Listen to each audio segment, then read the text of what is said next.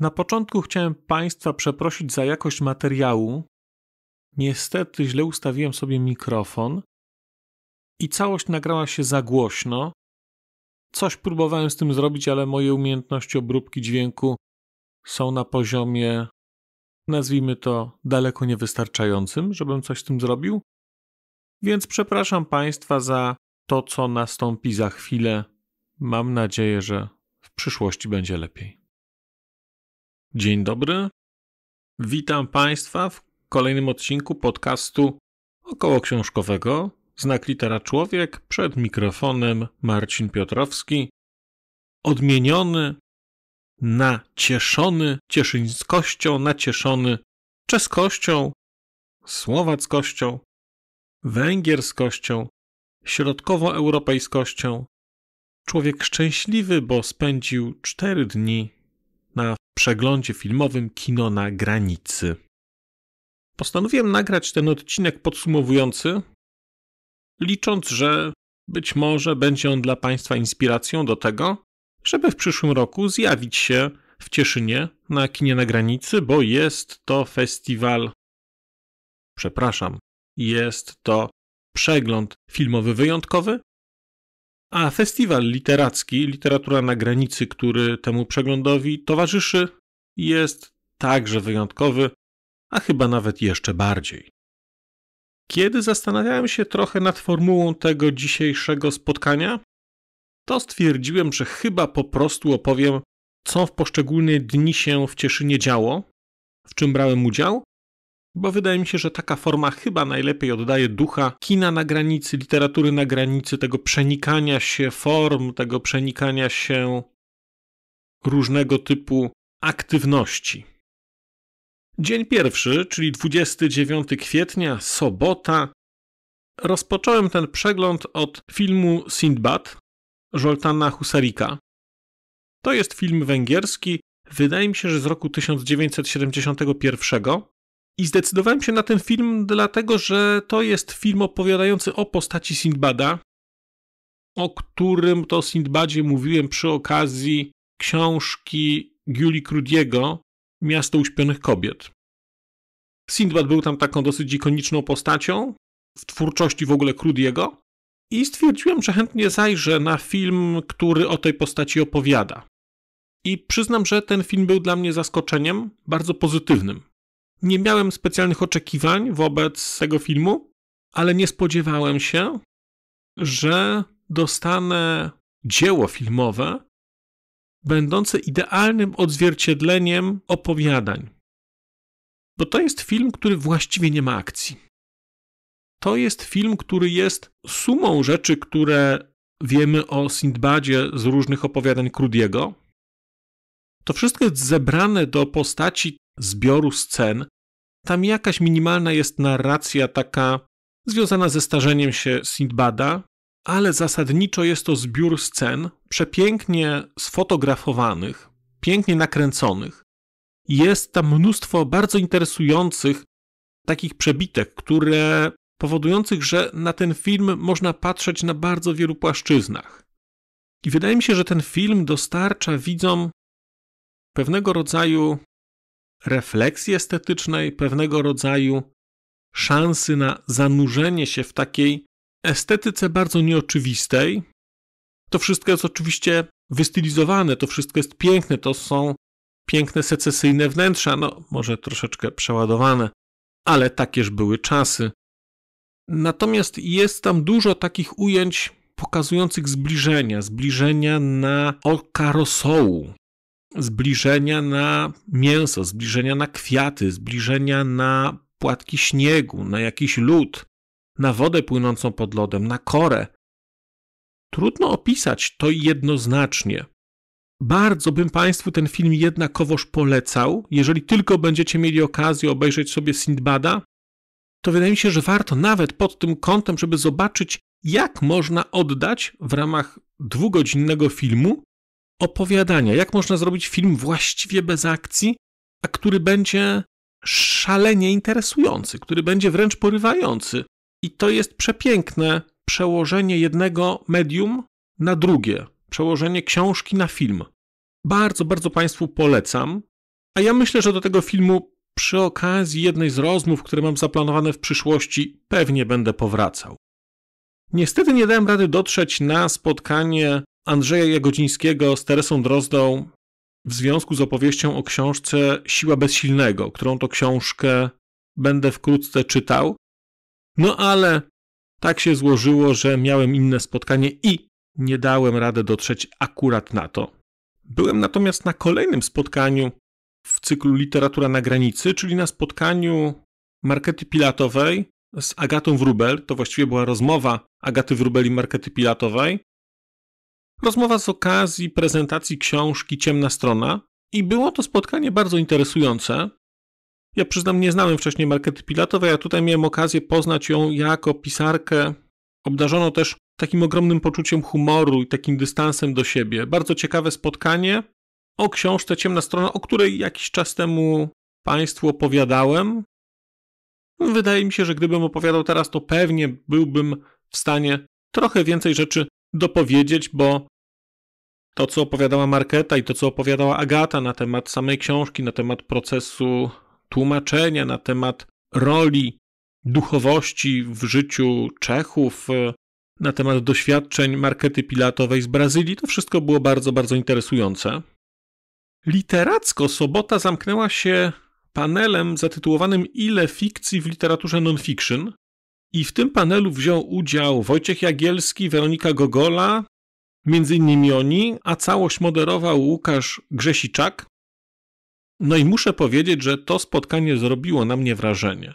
Ja z dużymi obawami w tym spotkaniu brałem udział, no bo sądziłem, że to będzie kolejna jakaś apoteoza polskiej szkoły reportażu. Tymczasem okazało się, że wcale nie. To było spotkanie bardzo interesujące i dyskusja była bardzo interesująca. Ona właściwie krążyła wokół idei prawdy i wokół tego, gdzie się kończy literatura faktu, a zaczyna się literatura, no nazwijmy to już nie faktu. I tutaj cały czas unosił się duch Ryszarda Kapuścińskiego.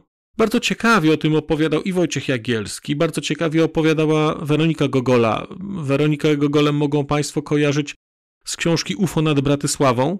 U mnie tej książki jeszcze nie było, z pewnością będzie przy okazji jakiegoś miesiąca słowackiego. Całość była bardzo, bardzo interesująca.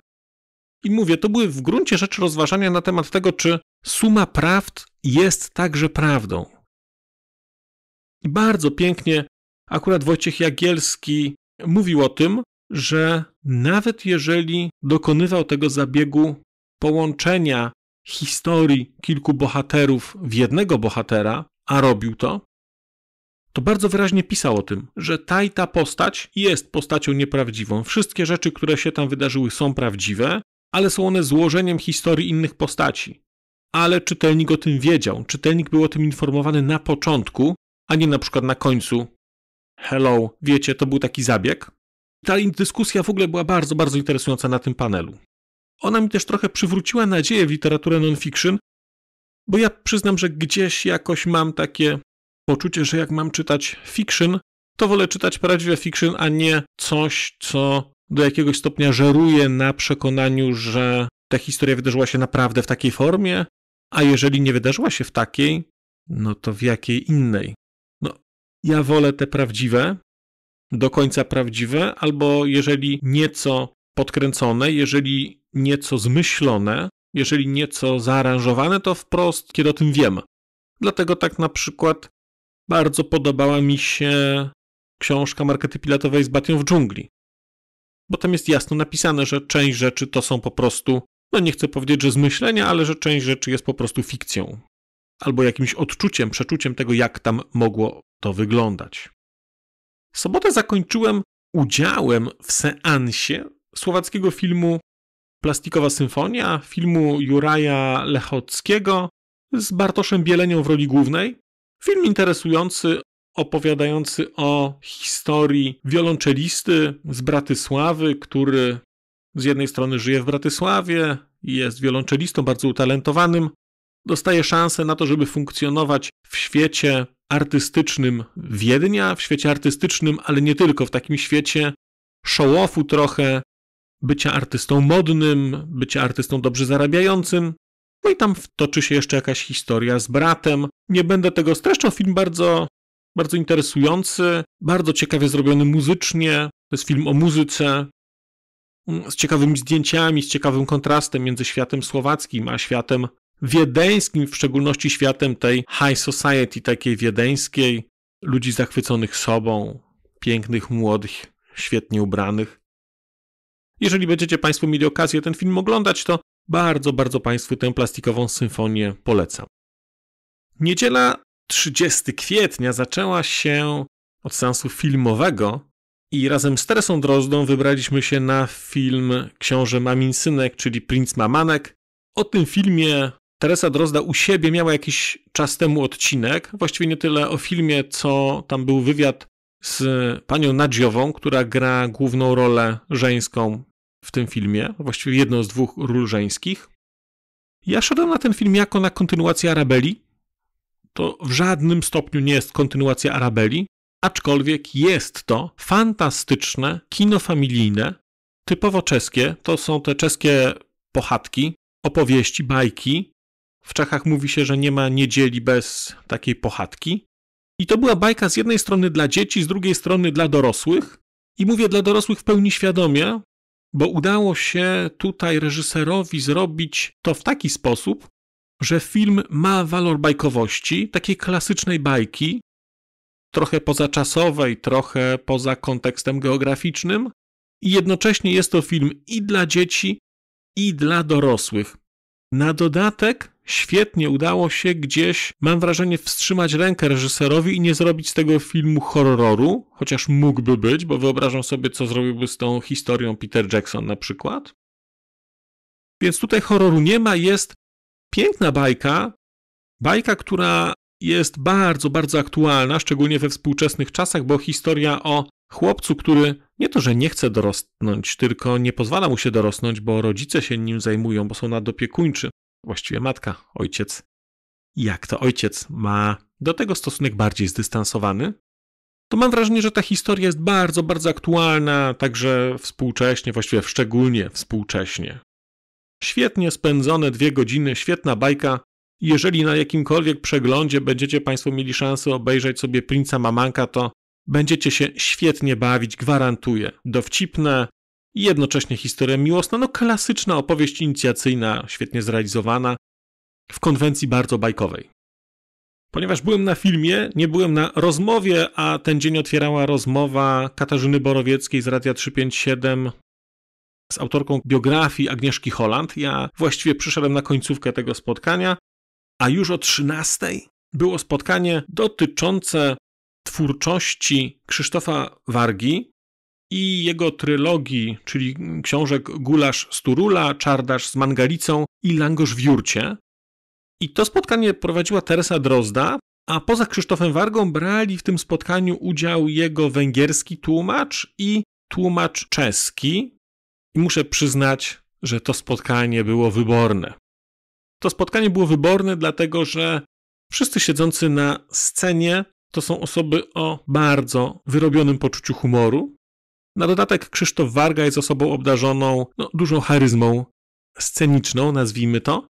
To też po jakimś czasie właściwie zdominował y, to spotkanie i kończyło się ono naprawdę bardzo ciekawymi takimi wycieczkami, bo kiedy ten kontekst, był wyjaśniony kontekst tytułu i ten turul, czyli święty ptak węgierski, no to Krzysztof Warga zwrócił uwagę, że w polskim kontekście kulturowym odpowiednikiem tytułu Gulasz z Turula byłby na przykład Bigos z Bielika albo Schabowy z Bielika. Rozwinął później to twórczo, że w tej części Europy, gdzie wszyscy mamy nerwy na wierzchu, no to odpowiednikiem tego na przykład dla wspólnoty serbskiej byłaby opowieść o kaszance z Kosowego Pola. I potem lekko używał sobie po swoim czeskim tłumaczu, pytając go, co takiego byłoby to w przypadku Czechów i czeskiej historii. A po chwili doszedł do wniosku, że właściwie istotne jest pytanie, czy Czecha da się obrazić. Eksplodował ten wątek przez jakiś czas i po jakimś czasie y, tłumacz, czyli Paweł Pecz, wrócił z odpowiedzią, że owszem, da się Czecha obrazić, Wystarczy tylko pomylić go z Polakiem. Było to spotkanie wysokiej urody intelektualnej, to było, to było cudowne doświadczenie. Bardzo żałuję, że było trwało tylko półtorej godziny. Kolejny blok to było spotkanie z Jurijem Andruchowiczem i to była rozmowa głównie o książce Moskowiada, ale ja tej książki nie znam. Będę chciał poznać. To było dla mnie ciekawe spotkanie, bo miałem okazję poznać trochę twórczość pisarza, który jest dla mnie jakoś interesujący, natomiast no, jeszcze nie czytałem tych jego rzeczy, ale kontekst Ukrainy w kontekście tego barbarzyńskiego napadu ruskich gdzieś tutaj też był eksplorowany. Spotkanie było interesujące, aczkolwiek no, z powodu własnego nieogarnięcia i z powodu własnego takiego kulturowego zacofania nie bardzo miałem okazję tam mocniej w nim brać udział, bo po prostu raczej byłem na etapie poznawania tego, co Juri Andruchowicz pisze. Nie byłem później na kolejnym spotkaniu literackim, bo to ono było w ramach literackiego to spotkanie, ale to było spotkanie o twórczości Jerzego Menzla, czyli czeskiego, właściwie czechosłowackiego czy czeskiego, w czasach Czechosłowacji funkcjonującego reżysera. Ja natomiast udałem się do kina na film e, Sluszka Mariany Ciengel-Solczańskiej i to jest film, którego akcja dzieje się właściwie tuż przed wybuchem I wojny światowej. Słowaczka ze słowackiej wsi trafia do Pragi jako służąca do takiej mieszczańskiej rodziny. No i tam następuje seria wydarzeń, pojawia się wątek romansu między tą bohaterką a jedną z osób z rodziny tamtejszej, właściwie konkretnie z córką głównych państwa. I mamy z jednej strony wątek obyczajowy, natomiast z drugiej strony mamy bardzo silny wątek polityczny. Jest pokazane zjawisko trochę budzenia się świadomości narodowej. Tam jest to pęknięcie na poziomie tożsamościowym. Kim jest ta rodzina? No z jednej strony to są Niemcy, z drugiej strony mówią po czesku. Pan domu ma mapę Austro-Węgier. Kiedy kończy się wojna i rozpada się to cesarstwo, to jest taka piękna scena kiedy ci wszyscy służący pytają się, gdzie będą mieszkać, rzucają miasta czy miejscowości, z których pochodzą, i on zaznacza to i mówi: To jest Polska, to są Czechy, to jest e, Słowacja, to jest Serbia. Widać ten moment rozpadu monarchii, a w tle jest rozpad także rodziny. Jeżeli będziecie Państwo mieli ochotę i możliwość, idźcie na ten film. Ta historia jest bardzo ciekawa, a co najciekawsze to to, że to jest historia oparta na faktach. Główna bohaterka rzeczywiście istniała, a zdarzenia przedstawione w filmie są autentyczne. I to się człowiek dowiaduje na końcu, ale to bardzo mocno wpływa na to, bo to się wydawała jakaś opowieść miłosna, a jednocześnie ta opowieść jest prawdziwa. Bardzo, bardzo to ciekawe, bardzo pięknie nakręcone, interesujący film. I niedzielę zamknąłem też seansem filmowym, trafiłem na film Plus Minus 90 słowackiego dokumentalisty Marka Kubosza. I to jest taki film, który jest portretem całego pokolenia słowackich dokumentalistów, którzy kończyli studia w latach 90. Natomiast jest tam wprowadzony szerszy kontekst. Pojawiają się też słowaccy dokumentaliści nieco wcześniejsi, nieco późniejsi także. Film bardzo interesujący pod względem treści, bo tam jest sporo takich rozmów, sporo refleksji na temat tego, czym jest kino dokumentalne, czym jest kino fabularne, co to znaczy być dokumentalistą, po co się to robi, co to znaczy filmować, co to znaczy dokument, jak technika się przekłada na jakość kina dokumentalnego, jak przekłada się sytuacja polityczna. Bardzo, bardzo interesujące to było. I tak patrzę z perspektywy, to jest to chyba jeden z dwóch filmów, które gdzieś mi cały czas tak e, mam w głowie i gdzieś cały czas o nich jakoś myślę. I jako, że to, co uskuteczniam tutaj u Państwa, to też jest jakaś forma dokumentalistyki, to gdzieś, e, gdzieś ten film mi w głowie rezonuje. Plus minus 90. Jeżeli będziecie Państwo mieli okazję, to ja ten film też śmiało Państwu polecam, zwłaszcza jeżeli lubicie kino dokumentalne i kino nieoczywiste, bo ten film jest nieoczywisty, jest też bardzo ciekawie zmontowany, jest formalnie interesująco również zrobiony. Święto pracy 1 maja rozpoczął się od wyprawy do kina na film czechosłowacki Słodkie kłopoty. Czechosłowacki, bo film jest z roku 1984. I była to klasyczna komedia romantyczna w trochę innym stylu jeszcze, bo to rok 84, jednocześnie to było wysoce zabawne. Taki czeski humor, po prostu czeski humor, mnóstwo gagów sytuacyjnych, komedia romantyczna, która skończyła się jak to komedie romantyczne dobrze, ale dla miłośników bardzo polecam, w szczególności, że mówią tam też po słowacku, bo całość dzieje się w Bratysławie i okolicach. Więc film jest czechosłowacki, ale kontekst jest bardziej słowacki. Część literacka tego dnia rozpoczynała się od spotkania Andrzeja Godzińskiego ze Zbigniewem Machejem i rozmową o jego ostatniej książce Praga Inflagranti. To jest książka, która ukazała się nakładem wydawnictwa Sejny. No i to była fantastyczna rozmowa, bo obaj panowie przez długie lata w Pradze mieszkali, Pragę znają, i to była rozmowa zarówno o książce, jak i o mieście, jak i o ludziach tamtejszych, jak i o ludziach kultury, o pisarzach. No fantastyczna, fantastyczna rozmowa. Dwóch ludzi, którzy znają miasto, którzy kochają miasto, którzy właściwie mówili o sobie jeden o drugim jako o Prażaninie. Ja książki jeszcze nie czytałem, planuję, ale nie wiem kiedy, bo kolejka w ramach literatury czeskiej i około czeskiej jest spora.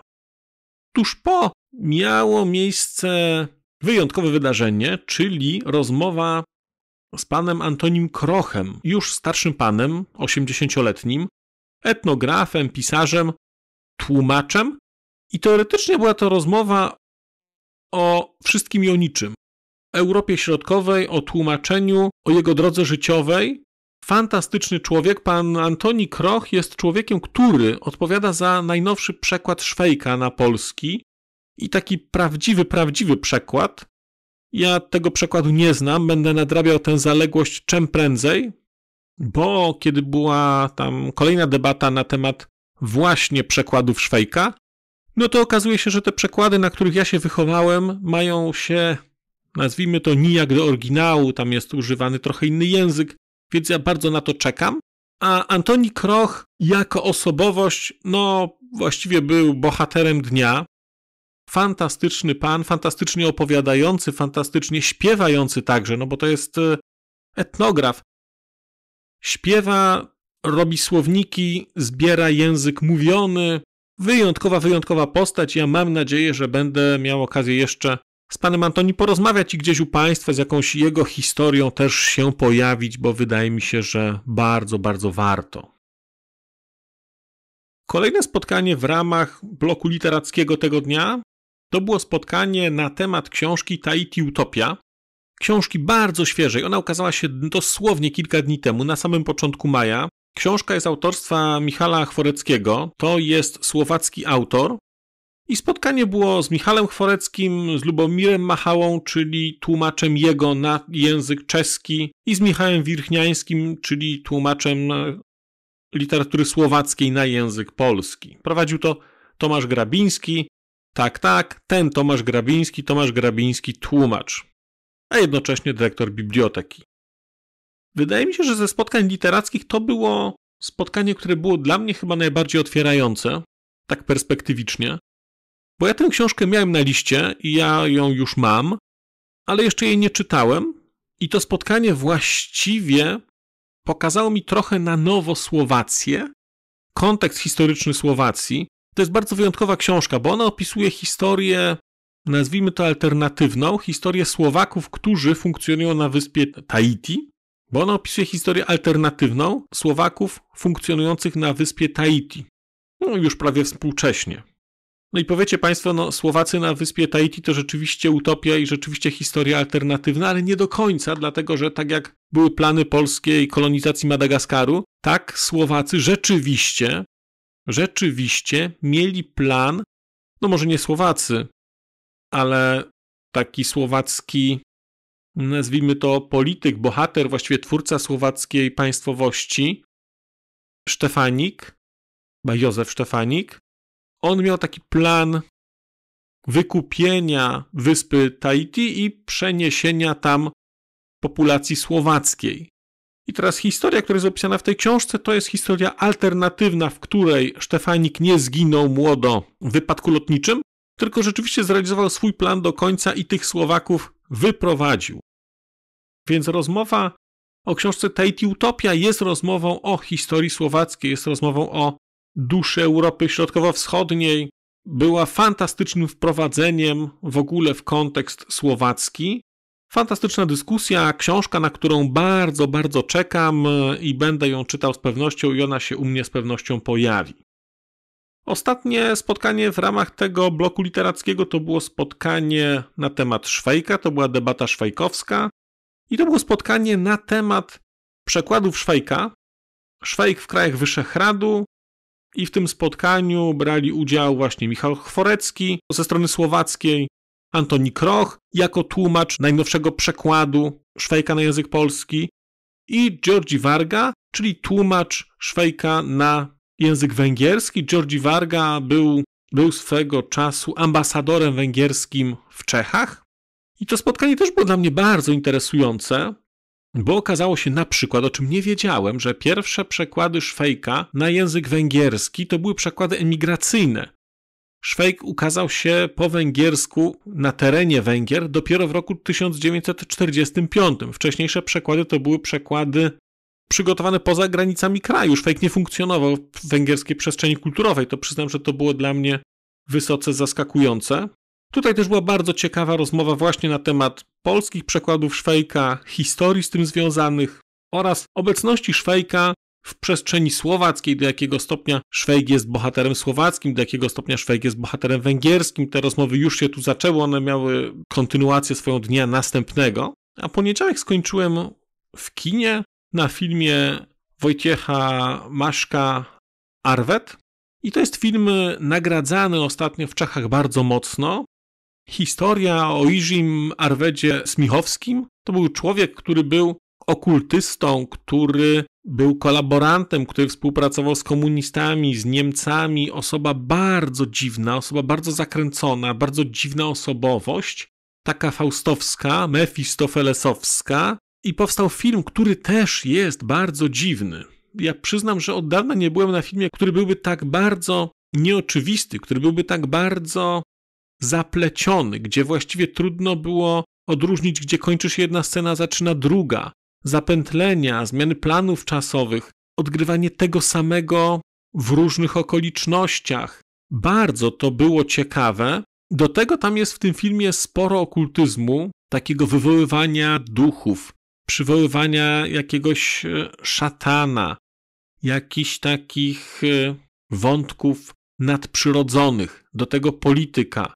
Przepiękne zdjęcia, natomiast jeżeli będziecie Państwo oglądać trailer do tego filmu, bo ja załączę Państwu link w opisie, będziecie mogli sobie do tego zajrzeć, to warto mieć świadomość, że ten trailer będzie opowiadał no nie chcę powiedzieć, że jakąś historię, natomiast będzie to wyglądało jak taki klasyczny trailer z dowolnego współczesnego filmu, pociachane ujęcia poskładane w coś. Natomiast w tym filmie niczego takiego nie będzie. Ten film to będzie seria zapętlonych takich scen, gdzie będziecie Państwo naprawdę siedzieć i głowić się, o co chodzi, kto jest kim, jaki to jest czas, którędy ktoś wszedł, którędy ktoś wyszedł, który plan czasowy jest prawdziwy. O tym, jak bardzo ten film był specyficzny, Niech świadczy fakt, że dyskusja z reżyserem i z odtwórcą głównej roli, ta dyskusja trwała godzinę po filmie. Ona się zaczęła o wpół do 11, jak film się skończył, a skończyła się e, o wpół do 12. I właściwie cały czas były pytania dotyczące różnych aspektów tego filmu, bo on jest tak wielowymiarowy, że można było pytać o rzeczy od historii Liżego Arweda Smichowskiego przez wątki psychologiczne, psychiatryczne wręcz, historyczne, zdjęciowe. Niesamowita rzecz, niesamowita rzecz. Film bardzo interesujący, pięknie zrobiony, a ponieważ nagradzany, to wydaje mi się, że on może też gdzieś w ramach jakichś przeglądów w Polsce funkcjonować. Jeżeli będziecie Państwo mieli okazję wybrać się na Arweda, to polecam, ale mówię, że to będzie film niełatwy. Może być tak, że będziecie Państwo siedzieć w trakcie i sobie myśleć, co ja tutaj robię, o co chodzi. No, w tym filmie nie tak od razu wiadomo o co chodzi, Myślę, że gdybym na ten film poszedł drugi raz, to oglądałbym go już zupełnie inaczej, bo wydaje mi się, że czytałbym bardziej te plany, a nie starał się złożyć tego w jakąś historię, co się do jakiegoś stopnia by pewnie udało, ale. No ale to jest film, który wydaje mi się bardzo warto obejrzeć. Wtorek zaczął się dla mnie udziałem w debacie pod tytułem Nieznany Stefan Grabiński po czesku. O odnalezionych niedawno międzywojennych czeskich przekładach tekstów polskiego klasyka literatury grozy.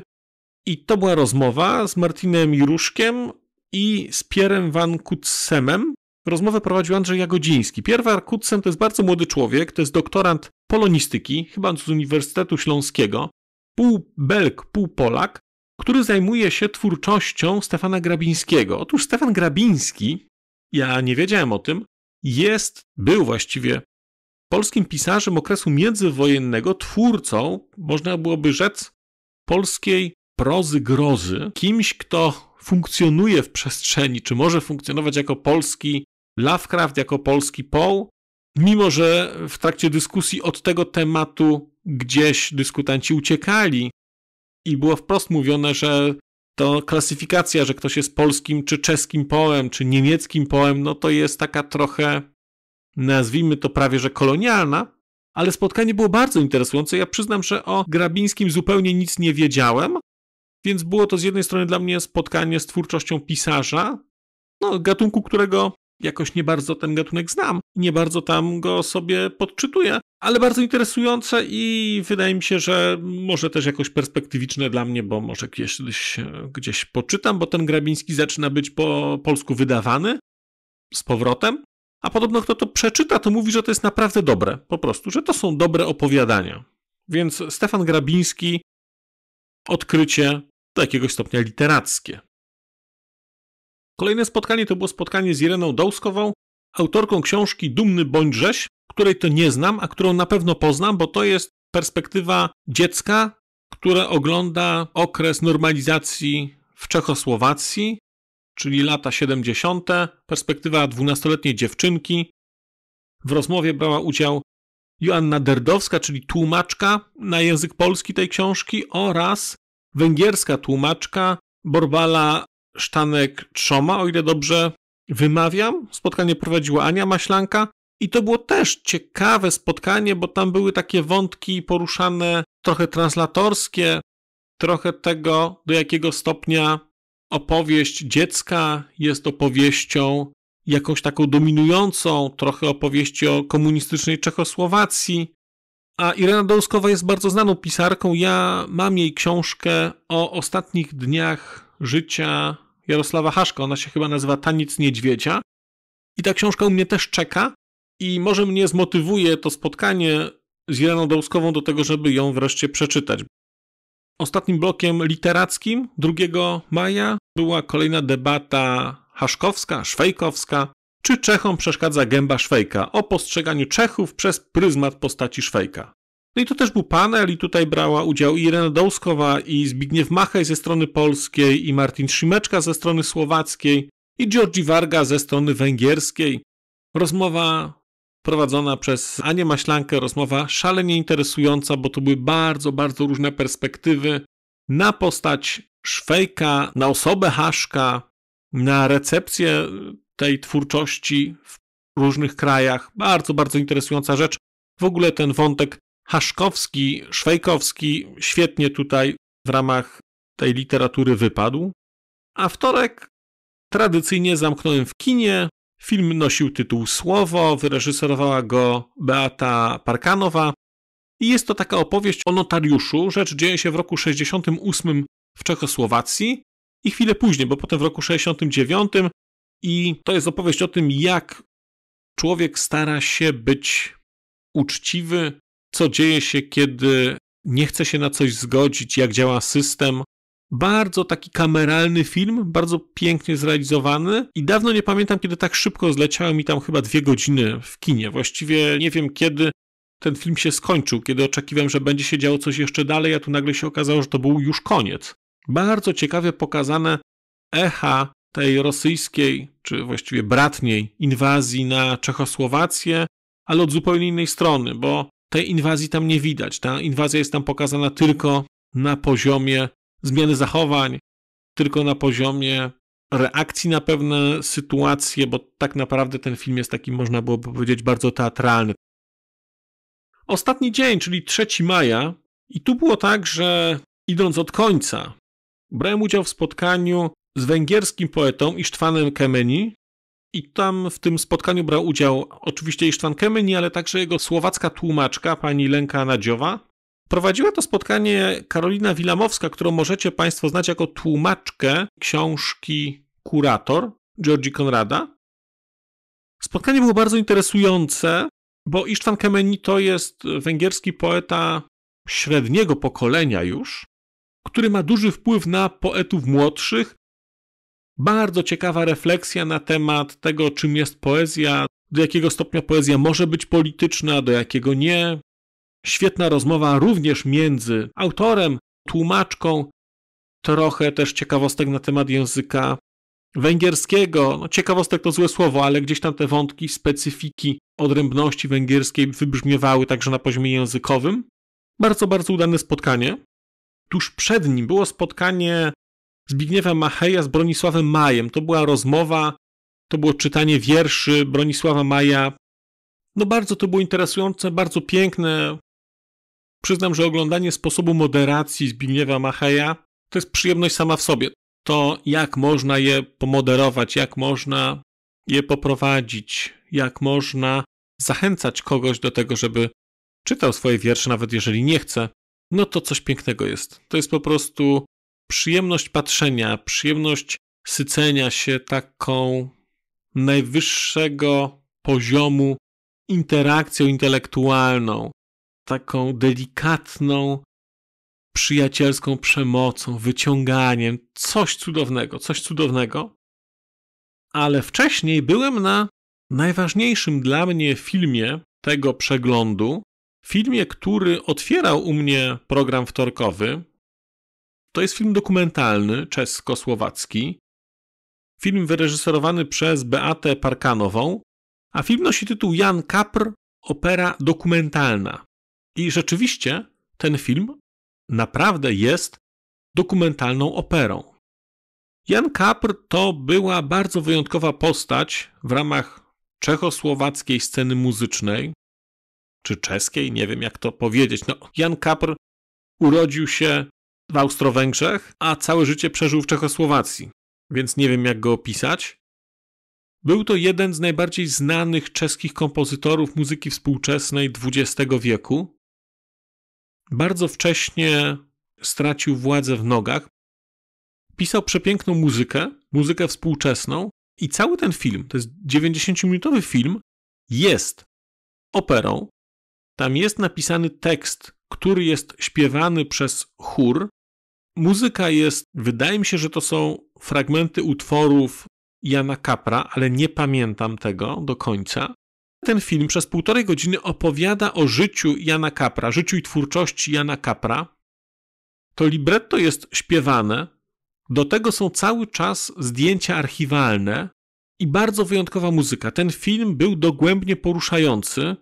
I myślę, że on ze mną zostanie bardzo długo. Na pewno już została ze mną muzyka Jana Kapra, którą ja odkryłem. Ja nie znałem tej muzyki. To jest taka momentami muzyka atonalna, zwłaszcza w tym późniejszym okresie twórczości Kapra. To jest coś, co uwielbiam. Muzyka jako konstrukcja. On wykorzystywał później metody szyfrowania do tworzenia tej muzyki. Coś, co na poziomie gdzieś powiedziałbym sztuk plastycznych robiła na przykład w Polsce Katarzyna Kobro, która te swoje kompozycje przestrzenne wyliczała. Te rzeczy kaprowe też są wyliczane, są komponowane w oparciu o układy geometryczne odzwierciedlane na pięciolinii. Coś niesamowitego, coś niesamowitego. Jednocześnie Kapr był człowiekiem, który na początku bardzo mocno współpracował z systemem, był nagradzany, pisał dla komunistów, to nadal były świetne rzeczy, ale nie zmienia to faktu, że pisał dla komunistów.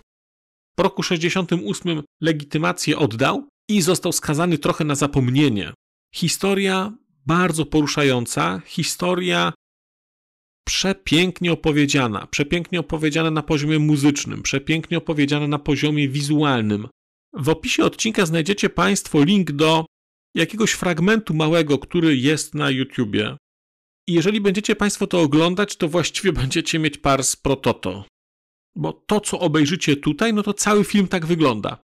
Cały film to jest tego typu muzyka, tego typu zdjęcia i tego typu narracja. Tylko tutaj macie to troszeczkę skondensowane, te, tutaj są trochę krótsze te scenki, ale w ten sposób zrobione jest całe 90 minut. Film jest absolutnie rewelacyjny. Nie wiem, jak ten film zdobyć. Wiem, że na Spotify'u na przykład Jana Kapra nie ma. Na szczęście znalazłem spore zbiory na YouTubie i załączam Państwu też link do tego, żeby można było sobie posłuchać. Jestem tą muzyką oczarowany, jestem tym filmem oczarowany. Dla mnie najlepszy film festiwalu, absolutna rewelacja, kulminacja na poziomie muzycznym, na poziomie wizualnym, na każdym możliwym poziomie. Przepiękna, przepiękna historia, fantastyczne story. Więc sami Państwo widzicie, w przyszłym roku nie ma co, do Cieszyna trzeba jechać. Tym bardziej, że festiwal, zwłaszcza część literacka, rozwija się nadal i o ile na przykład w zeszłym roku było tłumaczenie asynchroniczne, to w tym roku było już tak, że było tłumaczenie w czasie rzeczywistym, nie wiem jak ono się tam nazywa, konsekutywne czy jakie. Po prostu brało się słuchawki, całość była dużo płynniejsza, więcej było rozmów, nie trzeba było tracić czasu. No, tracić czas to nie jest tracenie czasu, przekład nie jest stratą czasu, to jest przyjemność słuchania.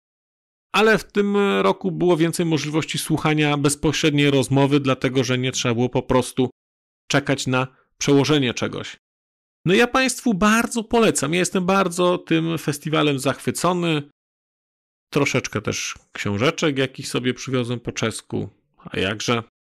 I myślę, że jeszcze jakieś tam echa festiwalu gdzieś u mnie się pojawią, a ja nie mogę się już doczekać roku przyszłego. Ale to już za rok, to już właściwie z górki. Już jakoś pójdzie. Bardzo Państwu dziękuję za dzisiejsze spotkanie. Dajcie znać, kto wysłuchał tego do końca, bo to strasznie się rozgadałem, ale tak zacny festiwal, no nie mogłem inaczej. Nie mogłem inaczej. Bardzo Państwu dziękuję. Do usłyszenia.